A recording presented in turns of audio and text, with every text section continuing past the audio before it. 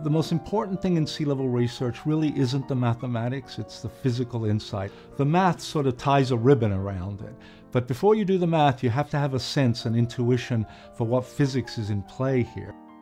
My name is Jerry Mitrovica, and I'm a scientist.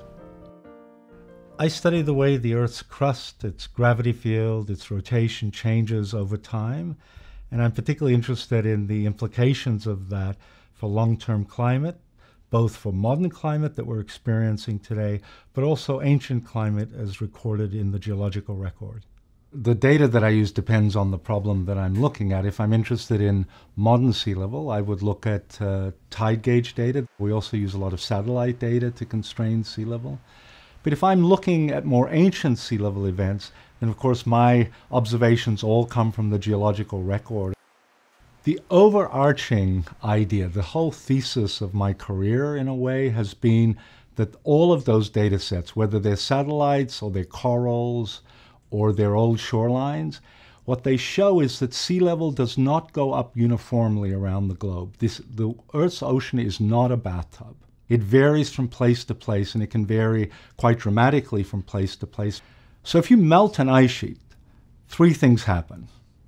The first thing is you're certainly dumping water into the ocean. But two other things happen that are more subtle um, and require a lot of care in modeling. When an ice sheet melts, that crust pops up. We call it rebound. That's the second thing that happens. And the third thing that happens is that the gravitational field of the Earth is changed. Just like the sun and the moon produce a gravitational pull on the ocean, a large ice sheet also exerts a gravitational pull on the ocean. And so when you melt that ice sheet, when you make it less massive, water will actually move away from the ice sheet as far away as it can get. And so those three processes add up to this very complex geometric pattern of sea level. Each ice sheet, each glacier has its own unique geometry or pattern in sea level, and that's why these things have come to be known as sea level fingerprints. The key for us is to try to understand how they're all going to mix together.